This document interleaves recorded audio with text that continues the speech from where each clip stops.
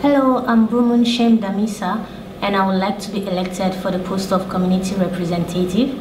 I think you should vote for me because I'm ever willing and ready to represent each international and national student.